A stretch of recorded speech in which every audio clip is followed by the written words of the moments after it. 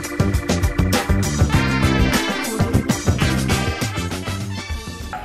assalamualaikum semuanya. Hai. Halo.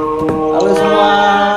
Waalaikumsalam warahmatullahi wabarakatuh. Senang Waalaikumsalam. banget ya bisa silaturahmi sama kalian semua walaupun cuman di virtual. Gitu. Iyalah. Ya, walaupun sebenarnya kita lagi pandemi, kita udah kayak kepisah pulau, nggak pulau juga sih. Mas Sofi kan gandul, aku di nih, kawan Bogor. Yang kayak kepisah pulau malah Femi aja dari di Palembang. Paling jauh dia. Wong Kito. Jauh, jauh. Iya, jangan lupa ya ke mana-mana harus selalu pakai masker. Lu pakai nggak? Pakai Masker dong, ke mana-mana, tapi berenang jangan pakai masker ya. Ya kai pakai masker berenang. Eh, ngomong-ngomong Mas Sofi kayaknya gemukan ya sekarang. Ya, bobo fisik. Kenapa pasal body shaming nanti? Gak apa-apa sob, gemukan itu kan artinya bahagia, artinya Harus ya. happy. Maaf ya ini mendadak nih nongkrongnya virtualnya pada gak ganggu kan ya? Enggak, enggak salah. Aku lagi baca buku lu ganggu video-videoan segala. Baca apaan sih man? Biasa pengembangan kompetensi, lumayan main seru kok, baca isi waktu. Oke, gaya. Eh, Gaya banget gua. Mbak, ada jualan nih. Jualan apa nih, sih. Mbak? Hah? Jualan apa lagi apaan? sih, Mbak? Ini jualan kue kering, bantu tetangga. Dengar-dengar katanya dia kena PHK. Waduh. Kesian sih. Ada di Instagram gue, nanti kalian cek deh. Enak ya sekarang jualan bisa online nggak harus keliling-keliling. Enak lah. Ya, tapi nggak belanja online doang sih. Sekarang belajar online juga bisa loh. Maksud lo korpu? Oh aja pinter nih dia. Tapi gua cuma tahu korpunya doang sih. Sisanya gua nggak paham. Ah, parah lu. Dasar lu kalau nggak tahu tuh nanya. Eh, tapi ngomong-ngomong soal korpu, gue nggak bisa lama-lama ya. Gue mau PJJ nih sebentar lagi. Pacaran. PJ apaan tuh, Mbak? Pacaran kali.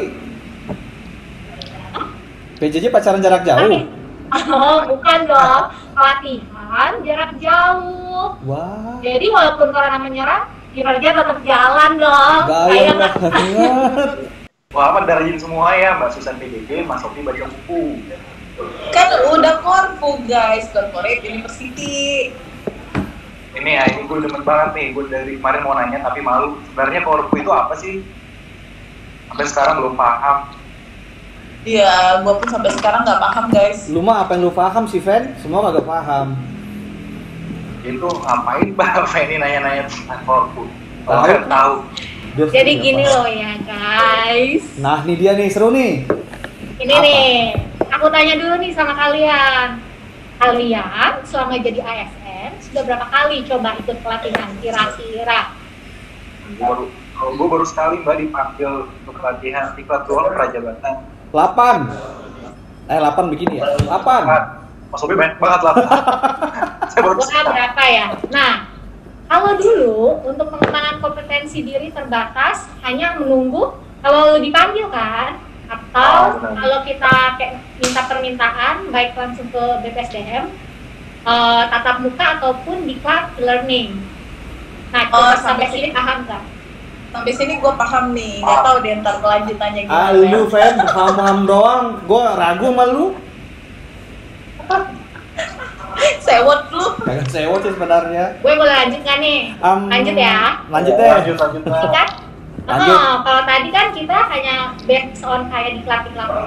Nah, tapi dengan korpu ini nanti kita tidak harus mengembangkan diri melalui pelatihan yang gue sebutkan tadi. Jadi misalnya nih kantor kalian studi banding ke instansi lain untuk keperluan pekerjaan.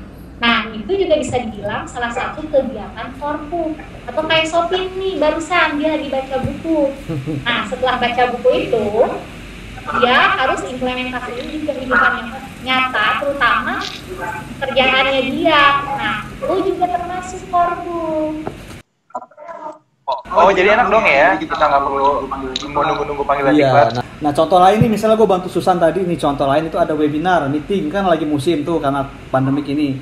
Misalnya judul judul webinarnya itu tentang strategi kiner meningkatkan kinerja dalam pandemik. Nah itu juga sebenarnya korpu asal uh, sebelum lu ikut kegiatan tersebut lu laporan sama atasan, ya kan? Kasih tahu bahwa lu akan ikut ini ini. Kemudian setelah kegiatan webinar itu lu juga melaporkan ke atasan lu bahwa ini ilmu yang lu dapat, ada buktinya. Jadi tidak sekedar uh, lu ngomong lu ikut webinar tapi ada foto, ada materi yang lu dapatkan, itu korpu juga. Oh, jadi bos nggak boleh dong ya melarang kita untuk uh, ikut kegiatan tersebut untuk mengembangkan kompetensi kita ya kan? Ya, justru bos pasti akan senang kali karena kita Setuju. inisiatif dari perkembangan kita. Gue pernah dengar hak pembelajaran selama setahun yaitu 20 jam pembelajaran di undang-undang ASN. Jadi setiap ASN itu uh, harus memenuhi 20 jam pelajaran. Itu dapat terpenuhi melalui korpu ya mas ya? Asal nggak ganggu tupoksi kita sehari-hari kan? Eh, Enggak. tapi bentar dulu. Lalu dari mana kita tahu kalau kita udah memenuhi 20 jam pelajaran itu?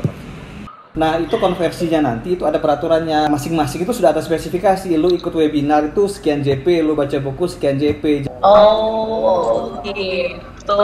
Ya, ya, ya, ya, ya. Jangan AO aja, Ah, kadang AO ngerti doang. enggak. Kadang Udah ngerti kan? Hmm. Insya Allah ngerti lah Mbak. Artinya korpu itu kan kita sebagai ASN mendapatkan hak kita untuk mengembangkan diri atau menerima pembelajaran 20 jam pembelajaran itu. Betul. Itu kan ya?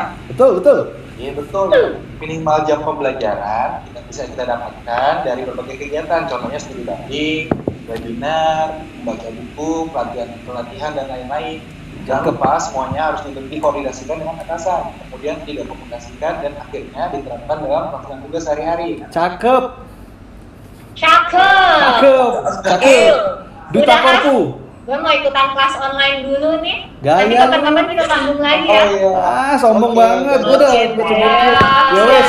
Dadah guys. Salam sehat. Salam pembelajaran.